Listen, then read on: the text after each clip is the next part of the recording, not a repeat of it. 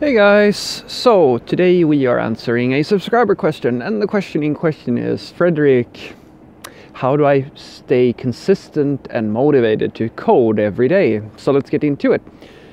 Well, if you're coding absolutely every single day and you don't want to code every single day, um, don't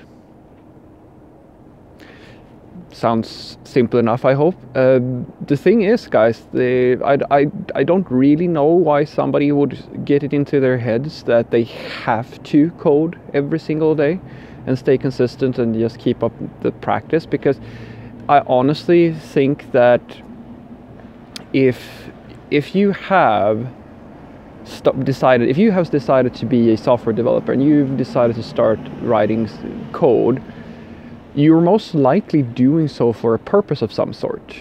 Now, the purpose is the thing that dictates how much you invest. If you are just genuinely interested in software development, you love writing software, then you won't have to force yourself. It's going to come naturally, and you're going to code as much as you feel motivated to code.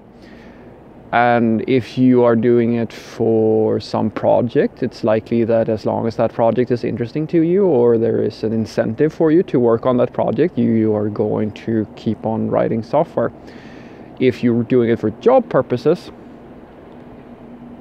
you're likely going to like and you don't have for some reason any other real interest into it you're likely going to invest as much as you need in order to apply for positions and then you're going to find this I hope, sweet spot where you know enough to actually hold down a job.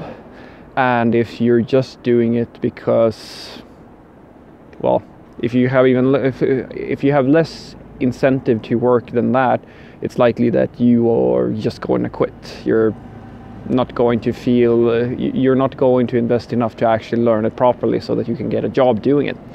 But uh, I don't know. I, I kind of think I know where this is coming from because it's. Uh, it's a problem that quite a lot of people seem to or rather there is this weird there is this weird unspoken thing that is going on in this industry where people seem to believe that you have to either be a super genius to do software development and programming and all this good stuff or you have to work all the time. You have to basically breathe the code. Some even some companies sometimes which is so weird have this into their heads. Guys you don't have to do that. Like it's uh, this is not a it's not a fucking olympic sport guys. It's not, it's not like software developers are competing with each other.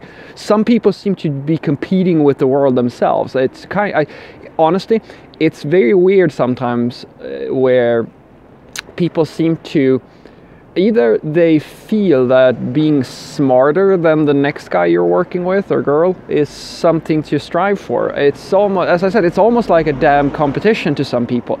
I mean, guys, for most of the industry, this is just a job.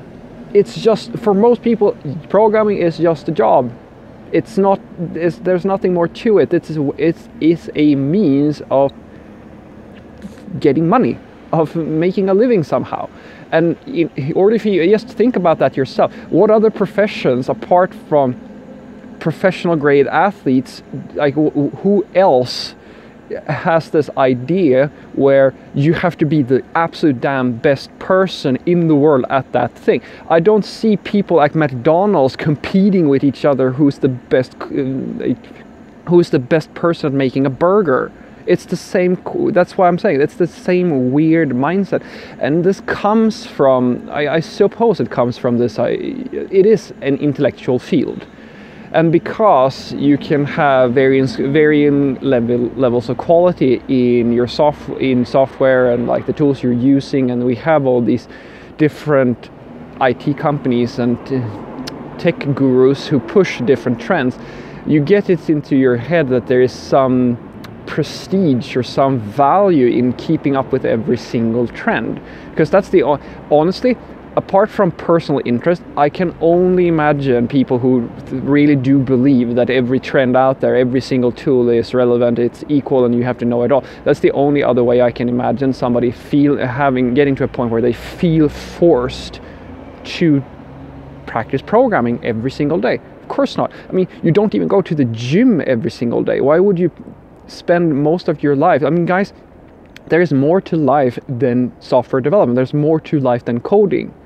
Unless that unless programming is your hobby as well, I don't see a reason for you to force yourself to practice it every day. I mean, shit, I have coworkers who only program at work. That's the only time they program. And shit, they're better at, at tons of stuff than I am.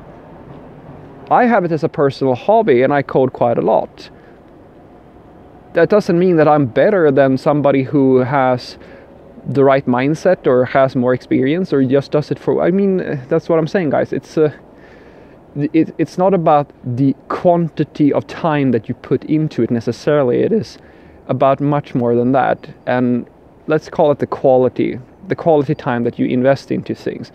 And let's just leave it at that because I don't want I mean I don't want to dissuade you. If you want to write software every day and you want to like if you want to do it for your personal interest do that but don't force yourself to do that. So basically what I want you to take away from this is that if you have it into your heads that you have to sit there and practice every single day to be a software developer then you can no you don't.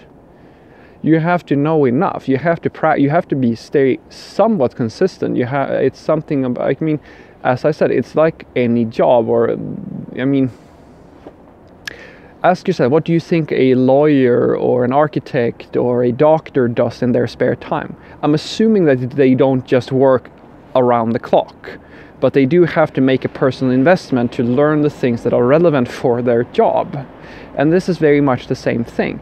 I know that this trend in programming where the industry is trying to basically push all of the basically we're trying to convince the whole damn industry that the only people who are worth anything in software development are the top-notch super programmers of the world and they are born basically into this world and th- that that's about it, right? It's but that's not the that's not the reality, guys. I'm sorry that this weird mindset is, is around, but honestly, all I can tell you is this: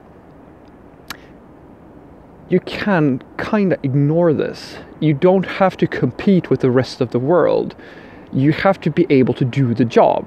And there's a big damn difference between being the top notch super programmers, uh, be among the top notch super programmers in the world, or trying to sell the idea that you are one of those people, and just being somebody who does this for a living.